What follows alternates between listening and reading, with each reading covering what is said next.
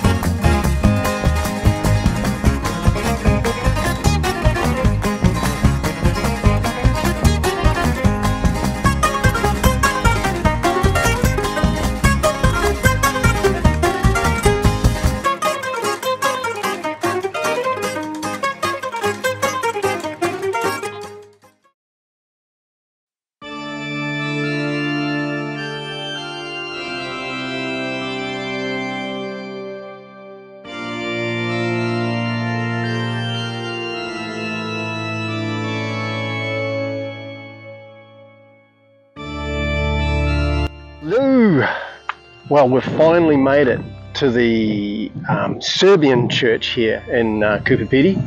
I'm just uh, hiding in here at the moment because of the, uh, it's pretty windy today, but uh, we'll tootle over and have a look. And uh, it's tucked away. It's a little bit of a, a, tough one to find. And man, you go through some neighbourhoods and just see um, oh, how everybody lives here in Coober Pedy. It's absolutely fantastic. Some of the houses are beautiful. So uh, We'll go and have a look at the old Serbian church and see what's in here, eh?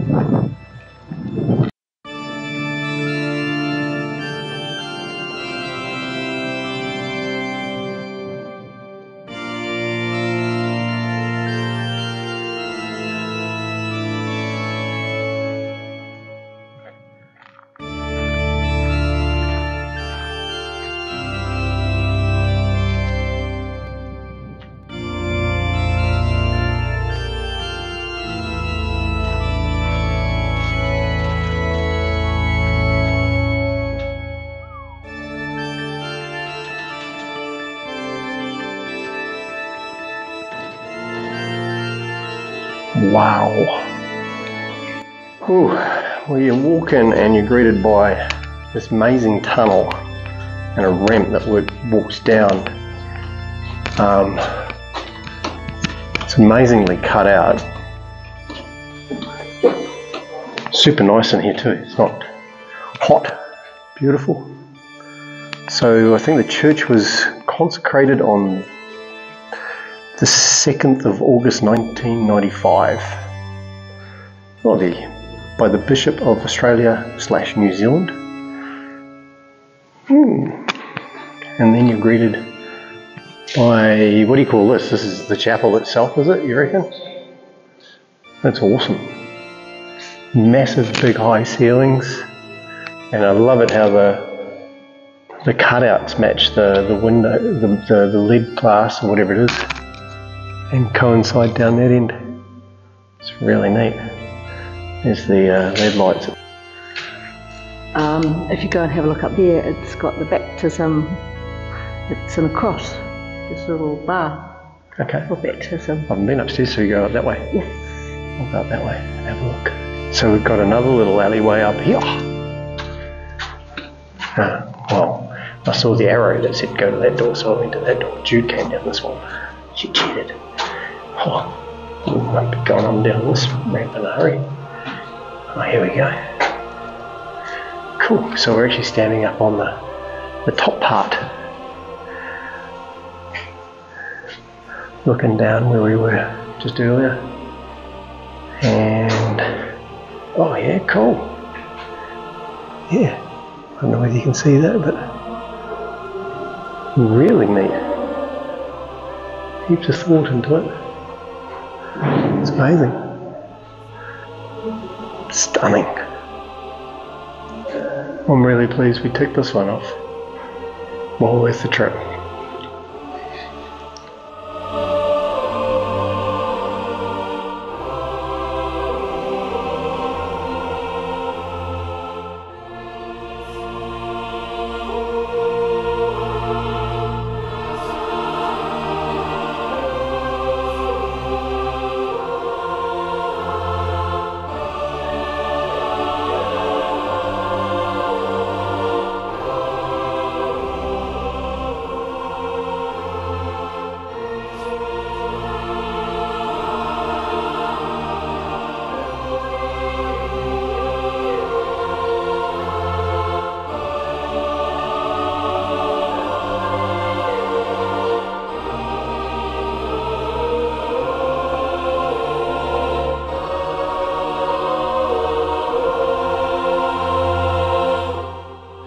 The next port of call after the uh, Serbian church, which was pretty staggering, a good place to go and see.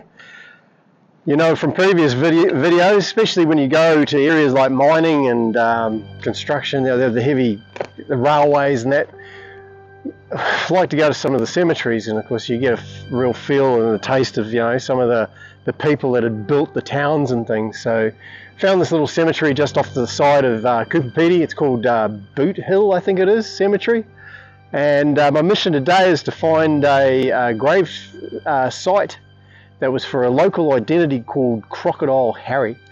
I think he died when he was about 81 years old, and um, I'm not going to drive out to his place, but I've seen some pictures, so look it up there, Crocodile Harry's place. He's got a, he's a, oh, I don't know what the word is for it, but he nicks and knacks and um, nooks and crannies and um, an artiste of some sort. Um, yeah, pretty amazing uh, bloke. He had uh, quite an amazing mind on him, and uh, yeah, sadly he's uh, buried out in the graveyard here, I believe. So we'll go and have a look for him, eh? Oh, the other thing here. So sorry you weren't seeing much of the view. So yeah, here's the the uh, the graveyard. It's windy as buggery. I've just had to put a flanny on. It's got a little bit of a chill factor there now. Liked it in the Orthodox Church. That was nice and warm. Um, but yeah, just to point out the um, probably a, a, main part of the uh, power source for Coober Pedy, along with a bit of solar. Um, they've got three big windmills, or wind turbines, I should call them. There's two over here and there's one over here, and uh, today's a good day to be generating power. It's uh, well, that one's not moving too terribly fast, but I think that one might be under maintenance. These ones are cranking along, and you can see out in the distance here too. Um, that's the the highway south and as it winds down south there, you can see some of the piles of um, some of the, the, the, underground areas where they've been um, digging. Um, so there's a few out over this way here too. So yeah, pretty good uh, vantage point for these poor fellows that aren't with us anymore, overlooking fruits of their labour, I guess. Anyway, we'll have a look. Well, there you go. We found Crocodile Harry. So he died back in uh, 2006, it says on there, at 81 years old. So yeah, it's fascinating walk around. Um, probably one of the most amazing headstones I've seen in a cemetery. Um, obviously, Crocodile Harry uh, has a nice, a pretty basic one here. I'll show you one up here that's pretty neat. There we go. There's one butte headstone, a keg. Have a drink on me. Good old soul. Um, but yeah, there's some that have got castles around them and uh, some beautiful um, wrought iron laser cut type ones and things. So yeah, really, uh, well, it's a sad place to visit, but uh, yeah, it's nice to see the care on some of the uh, the headstones. They're awesome. Anyway, better get out of this wind before I end up stuck in a windmill wind turbine somewhere. We'll go and recover in the van. Well, we made it to the Pedy sign world famous, I tell you. Tell you what's not world famous at the moment is the wind out here, so be prepared. Jude's just taking a photo. Yep, she's done her photo. Time to try and get my door out. Holy moly, have to hang on to it, otherwise she'll take off. Woohoo! How's it going, alright? Yeah. Whoa, Captain Pugwash! the Coober Pedy's on! Alright, we're leaving an Opal Centre. We have finally done the deed. Go and flash your finger. Oh, we got the sun on the way there. There we go. Jude's managed to pick herself up a nice opal souvenir here in Coober Pedy. It has taken some time. but uh, listen, I've got to do a little plug. This guy is amazing. Costa's Olympic Opal Centre. It's not much to look at from the outside, as you can see. It's uh, not far from the, uh, the IGA and across the road. Uh, well, you can look at the big winch from here. So see the old bloke in here, he'll do yourself a, an absolute amazing deal on an Opal. He looked after it very well. Nice bloke. So uh, thought at least I can do put a good plug in for him here. And uh, he's got heaps of range to choose from as well. Anyway, you happy? Yep, very happy. Very happy. Love my ring. She's very happy, loves her ring. And uh, we're going to, how about we go up to the big winch and go and have a coffee and enjoy the view. That sounds great. We're here? Yeah? Yep. All right here we are having a nice smoothie and you're having a milkshake. Yep. And uh, some what's left of some wedges at the uh, Big Winch 360 it's up on the top of the hill overlooking Coober Pedy we just thought it was a nice fitting spot for our last well it's not our last supper. We'll have another supper down at the at the park. But uh, no it's been a fantastic stay here in Pedy there's plenty of things to see and do. Okay. Yep, absolutely love it here. It's yeah. Nice place. Make sure you stay a few days when you come through Coober Pedy. And we've done a bit of a share between um, staying at a caravan park um, down at the free camp at Old Timers and uh, that ain't a bad little spot too, but pretty busy. Uh, very busy, and you really need to get in early because um, Yep. about You snooze, four you lose. o'clock, four o'clock, vans are coming in and just basically going back out because there's no space. Yep, yep. So, and that's just Coober Pedy in general too. It's it's pretty busy at times. There, there's lots of vans moving through. So, yeah, it's been great. It's been nice to have the uh, the wind died down a little bit today, and the sun come out. So it's been a lovely uh, a lovely day. Anyway, catch ya.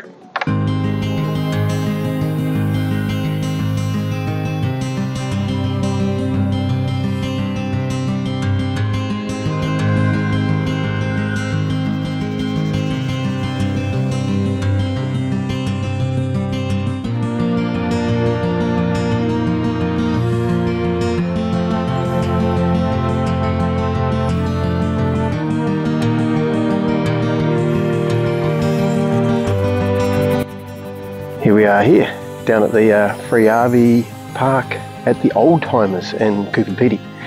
Um, the Old Timers Mine's just at the top, and you can pop in there and do a tour. And there's a great little shop of uh, bits and pieces in there. It's a lovely spot, and uh, yeah, you can't ask for anything better down here too. It's nice. Um, there's room for probably about 20, depends on how the vans pack in, but I say 20, 25 vans if you're if you're lucky. Um, and as I say, you got to be pretty lucky. I mean, we've got um, probably uh, a van and a car all parked beside us. Um, and there's another couple on the far side. So uh, yeah, great spot. It's uh, just over the hill from from town, so uh, it's walking distance into town easy. The big winch where we were having um, a wee little bite to eat is just up on the hill there.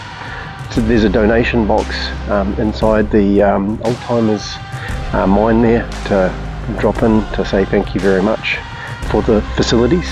Um, there's no water, there's no power, you've got to be self-contained. So um, the water and your toilet waste and things can be dealt with um, on the main street outside the information centre. There's a fantastic facilities there.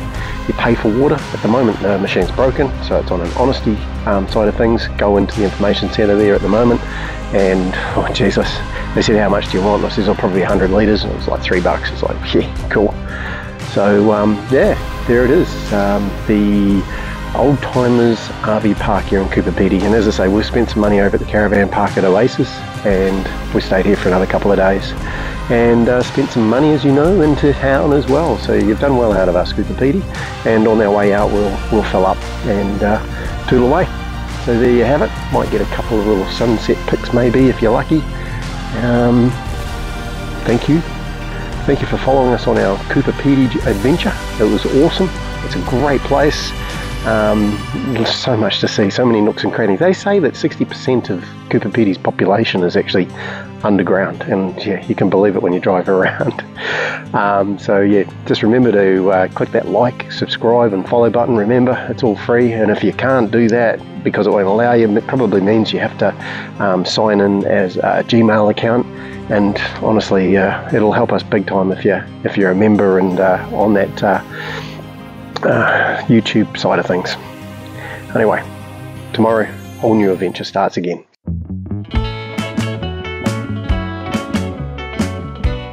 We're at a uh, little spot. Um, it's called the Big Aerial. Can't work out why.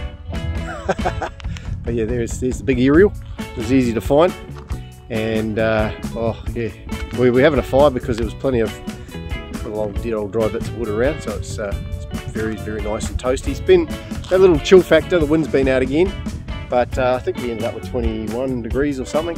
So uh, yeah we're just sitting here by the fire and chillaxing and uh, yeah so we're about 50 k's from where we were yesterday and then we've got to know another 50 k's to where we're going to go tomorrow which is Island Lagoon, was where that storm hit just out of uh, Pimba uh, when we're on our way up. So we'd like to go back to there. So we'll have a look at Lake Hart on the way down, stay at Island Lagoon, and that's only 30 k's from Pimba, and then it's about another 10 k's up the road to Woomera, where we've got two days in Bomb Central.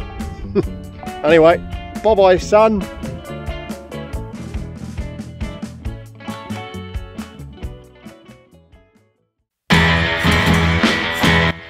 All right, Jude, just in case I rambled on too much.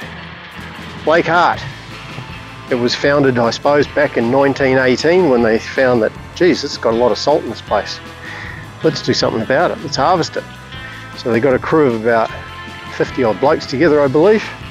And between uh, 1918 and it finished about 1931. And I think it was capable of 300 million tons of salt. Pretty wicked.